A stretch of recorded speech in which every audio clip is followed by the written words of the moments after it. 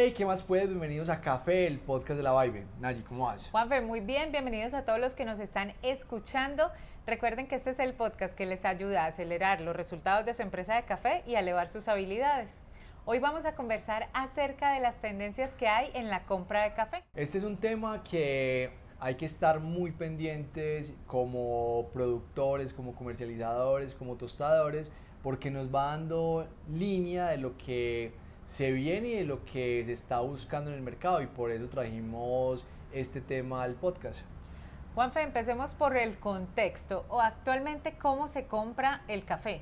Pero antes de que nos cuentes, los quiero invitar a que si nos están viendo, se suscriban al canal de YouTube y si nos están escuchando, se suscriban a Apple Podcast, Amazon Music o Spotify. Actualmente el café se comercializa teniendo como referencia el precio del café en la bolsa de Nueva York y el precio de referencia de la bolsa de Londres y los cafés que tienen unas características más altas de los cafés certificados pues tienen un diferencial.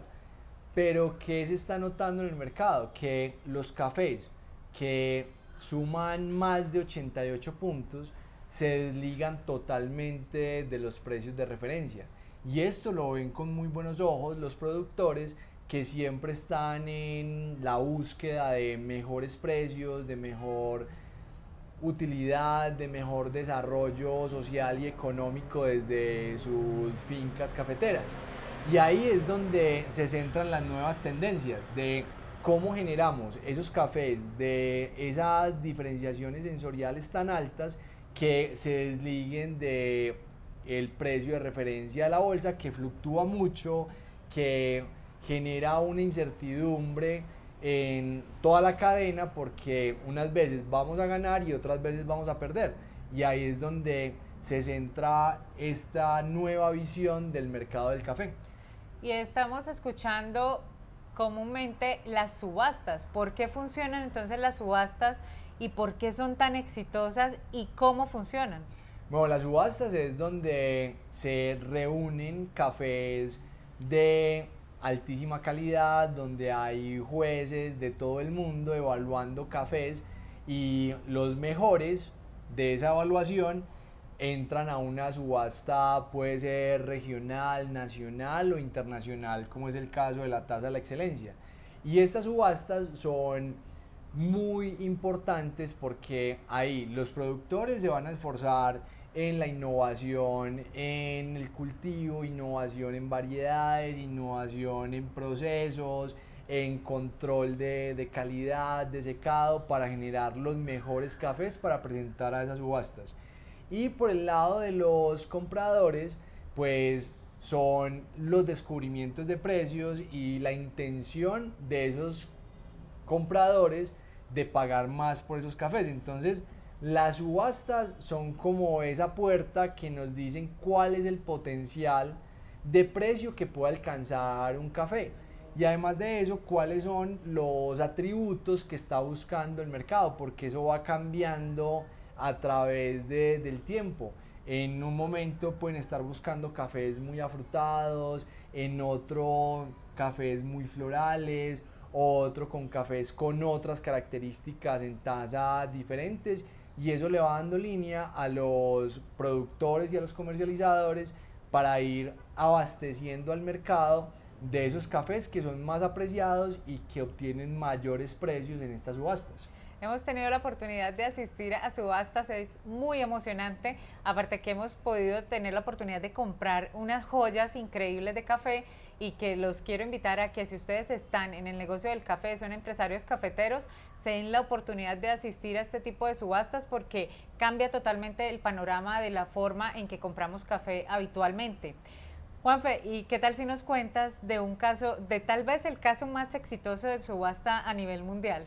Bueno, hasta ahora el caso más exitoso que conocemos en subasta es una subasta de un lote de café panameño que llegó a pagarse a 10 mil dólares el kilo, que es un tema que ya en este momento entró en el panorama del café, que antes de eso habíamos visto cafés de 600 dólares, de 1000 dólares, 2000 dólares, pero ya vamos subiendo ese nivel.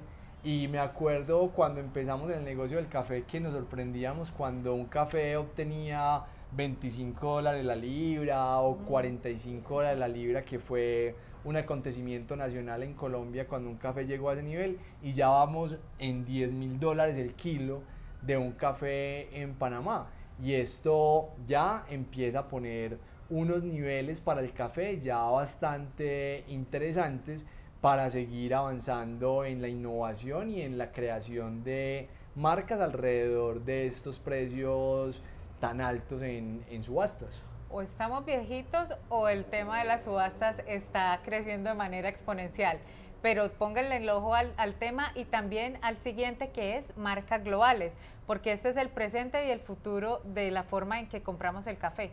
La creación de una marca global es lo que se espera de las, de las fincas cafeteras y en general de toda la cadena de distribución de un café en específico.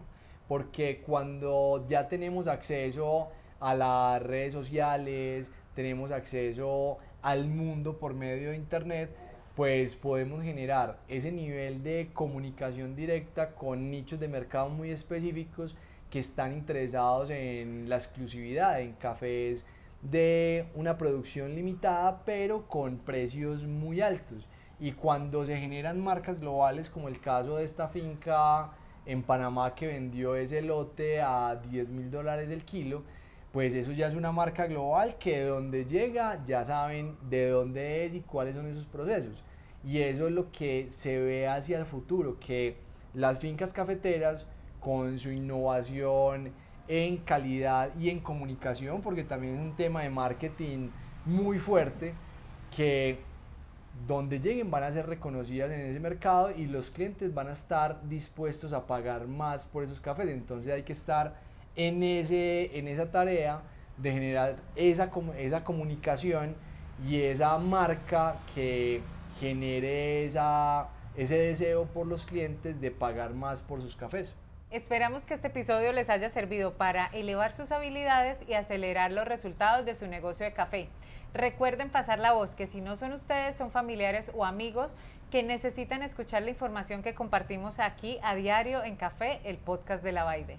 Este espacio es de ustedes, pueden preguntar, pueden hacer las preguntas, nos pueden dejar cualquier comentario, decirnos si les está gustando el podcast, si no, qué recomendaciones tienen, qué temas quieren que tratemos, todo. Nos encanta estar en contacto con ustedes por medio de todas nuestras redes sociales.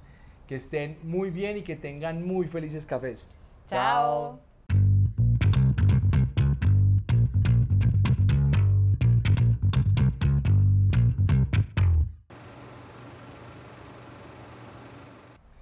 Es un tema que hay que empezar a... Tendencias actuales de la compra de café. Ah, pero, antes, sí, listo. Perdón, fui yo que le te hice la pausa. listo. Ok, Juanfe, y come... No, vale, ok, listo. Bájala que no estás tomando. Listo. Juanfe, y empezamos. Actualmente el café se compra con la referencia de las bolsas de referencia. No. Esperamos que este episodio les sirva para elevar sus habilidades y acelerar